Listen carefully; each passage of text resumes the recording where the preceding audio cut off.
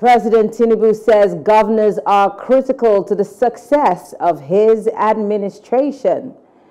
And Southwest senators consider the other options and withdraw support for Godswill Akpabio in the 10th National Assembly race.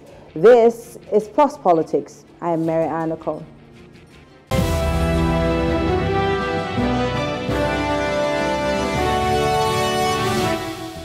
President Bola Ahmed Tinubu has said governors are critical to the overall success of his administration and the desire for a Nigeria that works for all. The president made this assertion in a statement while felicitating with the new leadership of the Nigerian Governors Forum and Progressive Governors Forum, respectively.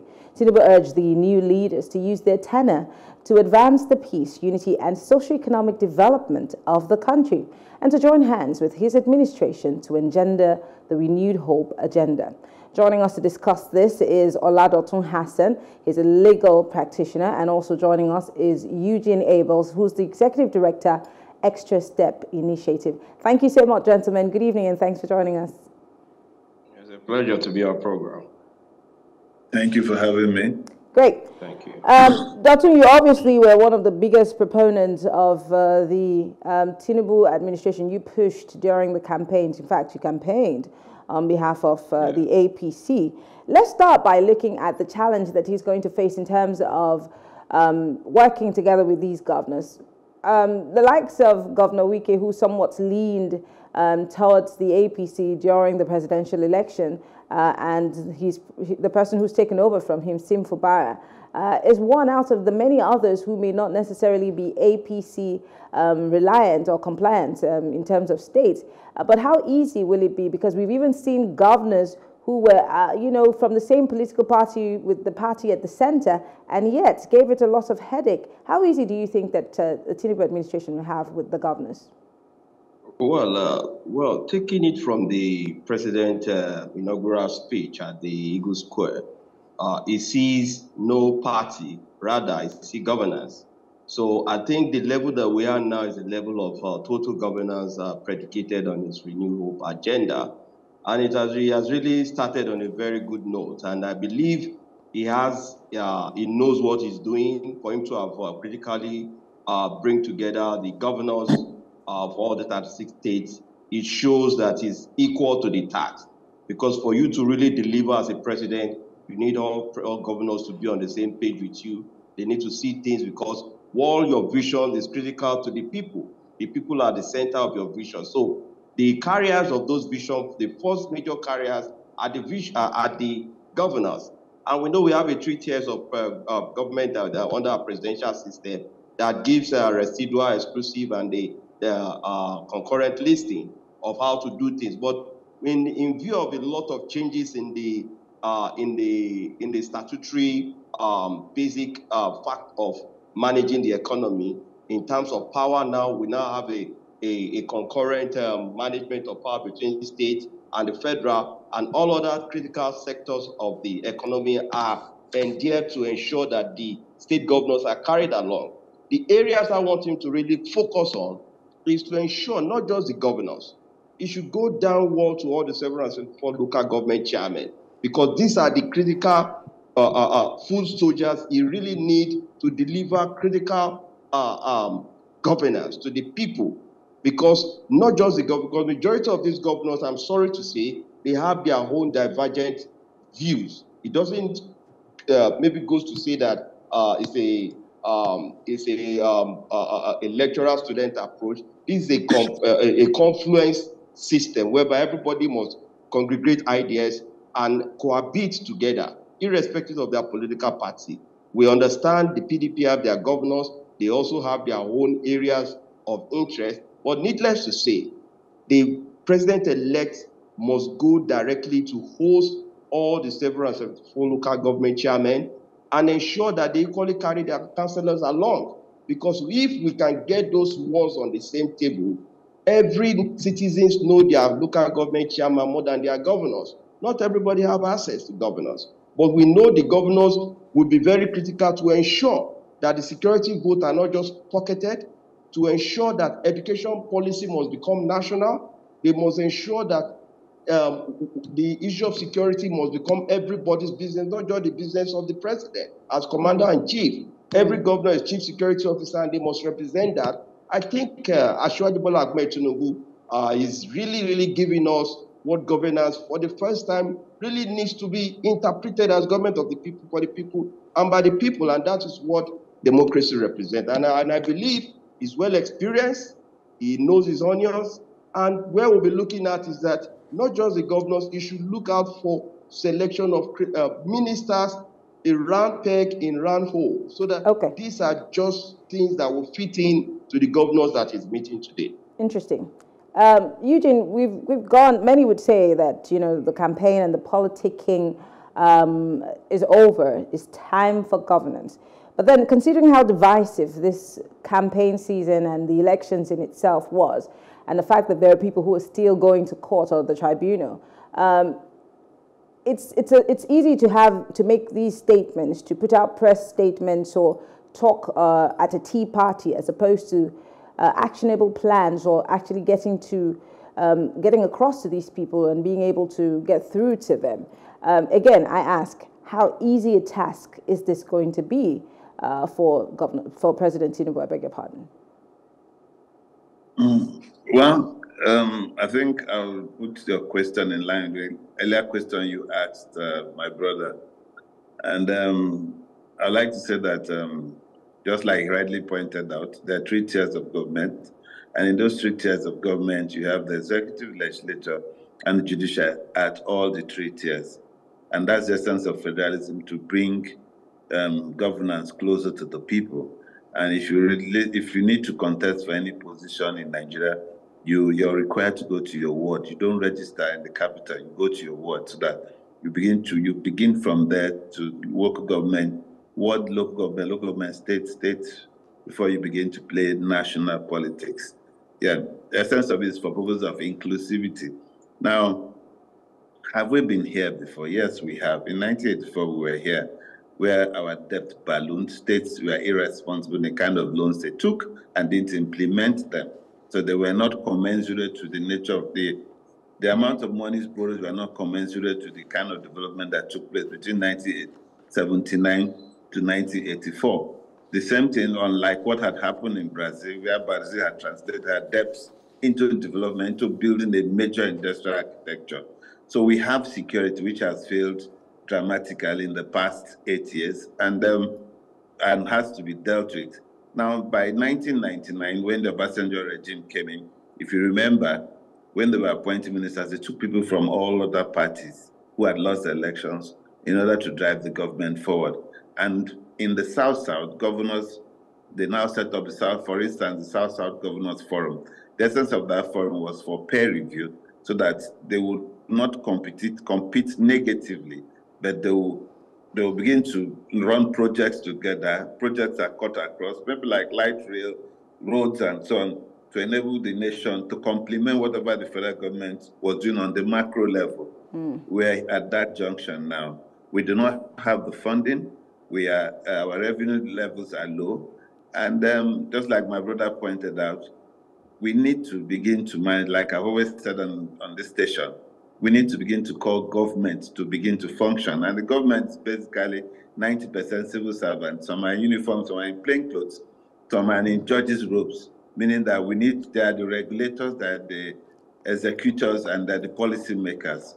We need to take it all the way down, the way he said that, from the local government all the way down, from the state to, from federal to state, state to local, so that we don't just begin to do things the way everybody's doing his own thing just because we have the constitution that says that some things are concurrent lists, some responsibilities. I'll give you a simple example. Until recently, we heard that um, Nasarawa State or a state in the mid in the middle belt or so, that the judges were given time to go and seek for some form of qualifications, and people were beginning to ask, how were they employed in the first place? How have they been administering justice?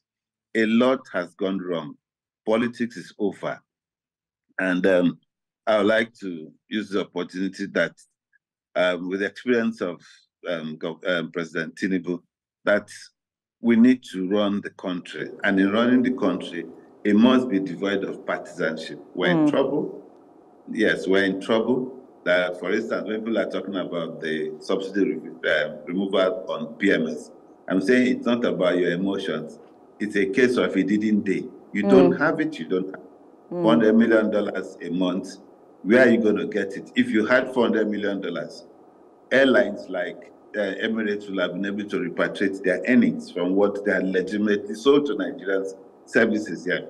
So to change what would be different by this administration is the ability to create a massive collaboration between the center and the local government and ensure strict regulation and enforcement that their leakages are blocked, that clear policies are saying, yes, I will not tell you what to do, mm. but you will not run a mediocre educational system. You will not run a mediocre health system. If the schools are mediocre, National University Commission and other regulatory bodies will come in and ensure they don't even start and shut them down. Mm. I'm hmm. just trying to give some pointers so I don't take all the time. Mm-hmm. Yeah, because that's when we begin to hold people, systems, processes accountable and make them accountable and efficient for the people to, to enjoy. Yeah. Mm. Let me come back to you, Dotun. You talked about um, local governments. Um, we've known um, over time that local governments have become an appendage of sorts for state governors. Um, and then I can't remember the last time that local government elections really held as at when due. Um, in fact, I must say, for Cross State, I think that this is, um, their tenure has just elapsed. But then, of course, governors have come up with the brilliant idea, which I think it's crazy, um, to come up with these caretaker committees, which is very unconstitutional.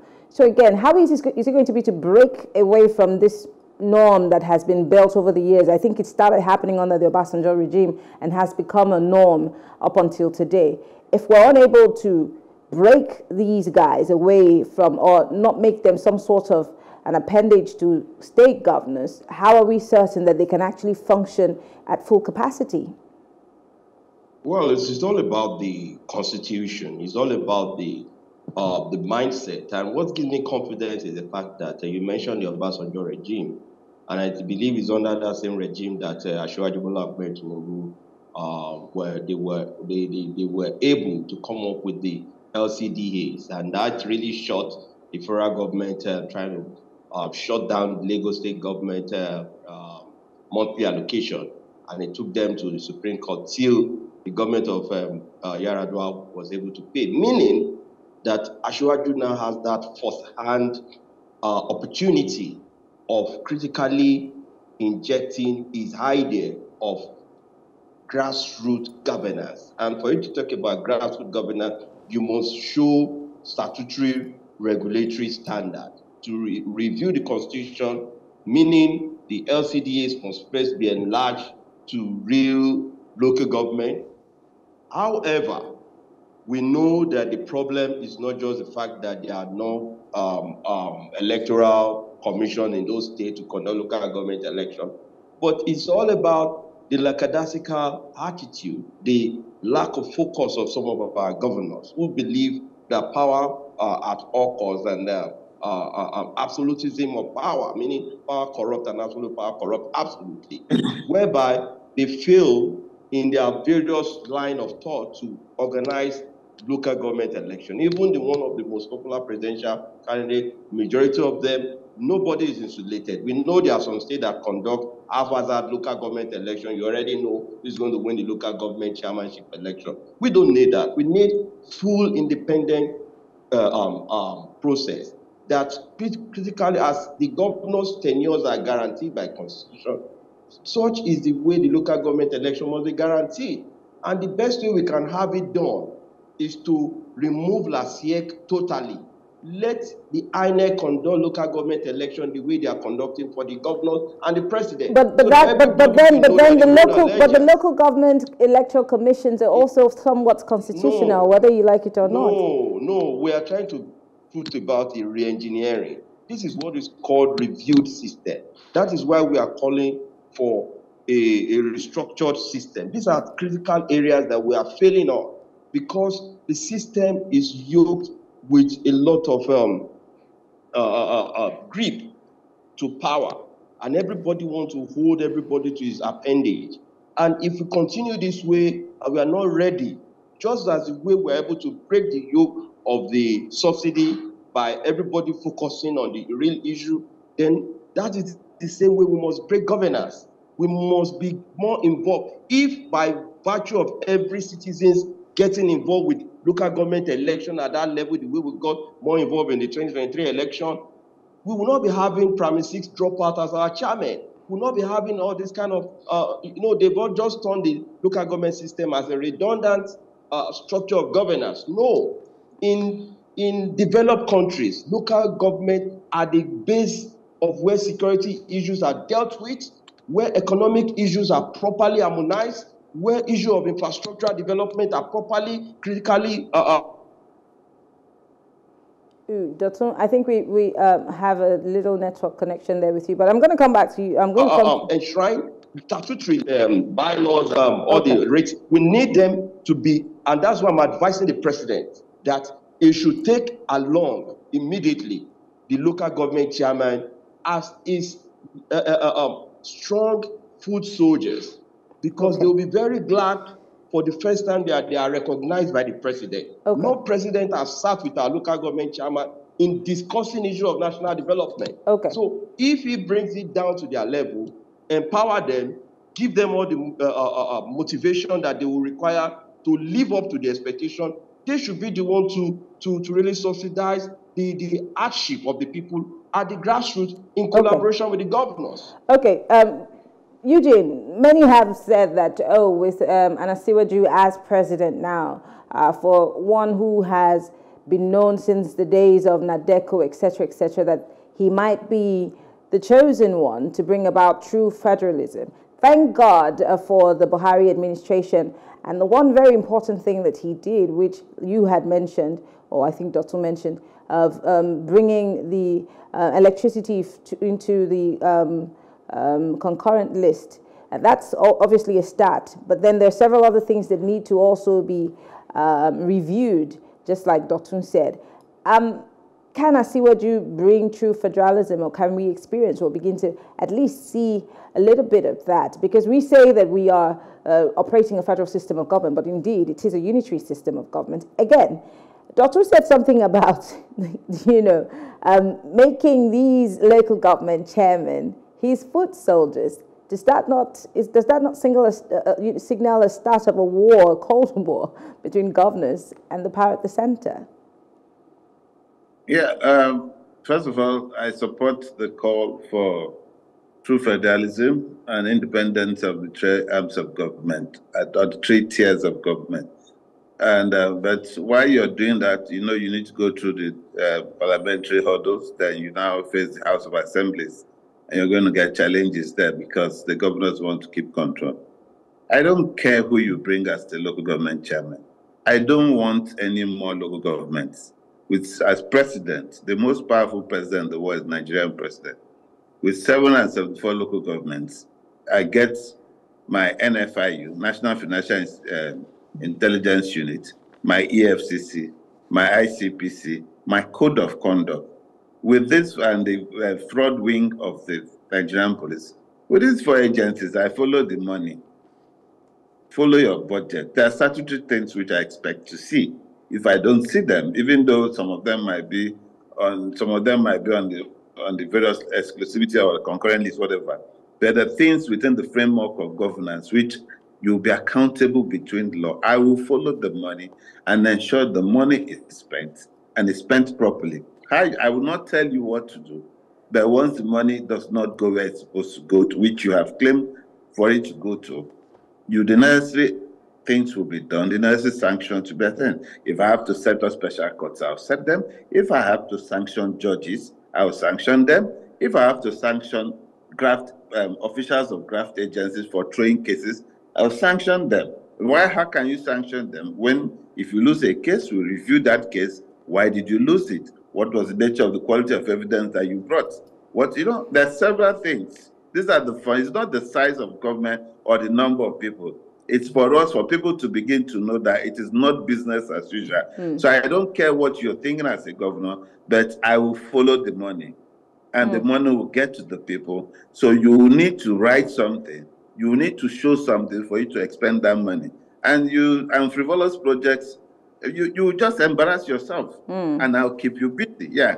So, I, I once the place become because these same people who are looking to you as difficult to run are the same people who are used to mobilize during partisan politics. Now, if I take you back to the SDP and NRC times, it was free. So, for instance, in River State, the governor was an NRC man. The, the Port Harcourt local government chairman was a NRC, uh, was a, a person. So there was this competition for projects and ensuring that um, teachers' salaries were paid, drainages were done, roads were done, and so mm. some, all those Elekahia area were done. There was this competition, and it was interesting to see. I think the local government chairman's name was uh, Dr. Chukwu, so he lives in Elekahia while the governor was at the judge. So we've seen that it's possible. People are earning salaries to do their job, and these civil servants have not done their job, or mm. they are not doing that because people have not been sanctioned. We need, we don't need to grow the bureaucracy. All we need to do is begin to make them to be functional. So you earn your keep, you earn your jersey, so that and you do those things which you are supposed to do. The code of conduct bureau does not need much. There are oaths which you sign when you have been elected, after you have been elected or sworn in.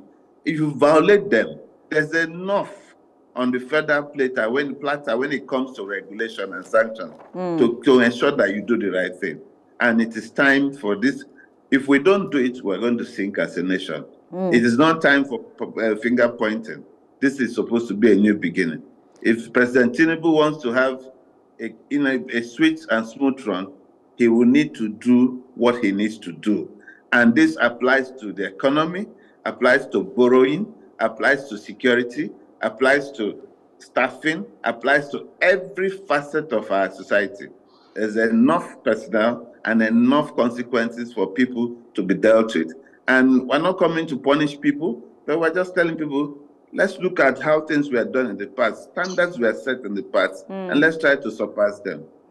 Okay, Dr. Um, let, us talk about something that I think we gloss over a lot in this part. Um, the fact that every single thing that goes wrong, or when we're querying governance, we always look at government at the center. Um, I mean, I could ask all kinds of questions. Um, we always forget about the fact that our governors are the ones that are responsible most to us. Yes, we're not in any way absolving the federal government of their duties, but half the time we're always saying, oh, the buck stops at Mr. President's table, which is also true. But why is it that we most of the time overlook the duties of our governors to us? Now we've obviously addressed the issue of local governments because those are these are the people who are closest to us in terms of governance. They they reach us where we are. But for governors, they, they, a lot of things seem to fly under the radar. Uh, why do you think that is? And every single time we're always blaming the president. Yes, he does have his blames, but why do we always you overlook know, the governors? You know, you know, you won't blame us, uh, our people, for casting and carrying all their burdens to the decks of the president, because uh, this is the most. Uh, we run the most powerful constitution. We have the most powerful president, because this is like the president that does no wrong in this part of this country. And at that same position, while our problems are mainly from the head, the way our problem in this country is from the top to the bottom. It's supposed to start from the bottom to the top. But because of the kind of people that we've had at the ends of our fears, they've mostly disappointed us as citizens. They've left critical structure of governance and then immersed themselves in corrupt activities enrich themselves with, with, with state resources. They still date, a lot of them are still running on state resources.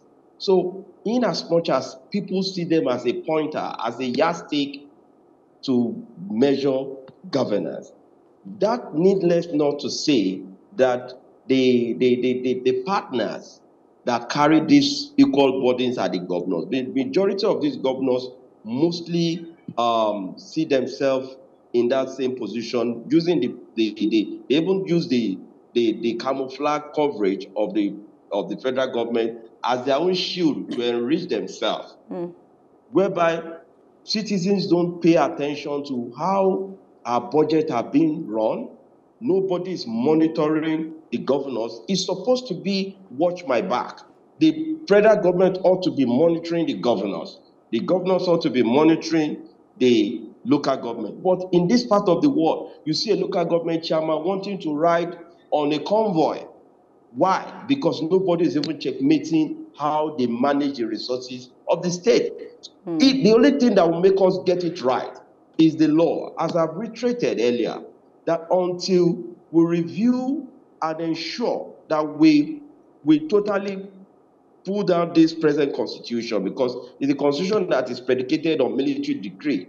And I don't expect within the focal point of Asiwaju Bola Ahmed and the 10th Assembly that is coming on board and the entire tiers of government that we have should still be looking at this old wagon called constitution to still run us a good governance. No. I, I guess I guess that I guess that that's a conversation for another day, uh, Doctor. No, no, no, no, no, no, no. I'm it's a conversation for another day because uh, no, I have many no, questions. To... I have many yes, questions okay. as to how soon that can be done. We've had so many constitutional conferences. Let's not even go there. Unfortunately, we don't have enough time to have this conversation. But I want to say thank you. Um, it's just, to, a, to it's just part of our solutions if you yes. get it right. Yes. Our law must be set down and rule of law must have its place in our governance. Well, I want to say thank you uh, to Dotun Hassan, who is a legal practitioner, and to Eugene Abels, who is the executive director, the Extra Step Initiative. Thank you so much, gentlemen, for being part of the conversation. Thank you for having us. All right. Thank you. Thank you. Well, we'll take a short break. When we return, we'll be discussing the position of the Southwest Senators on their choice of leadership for the Senate in the 10th National Assembly. Stay with us.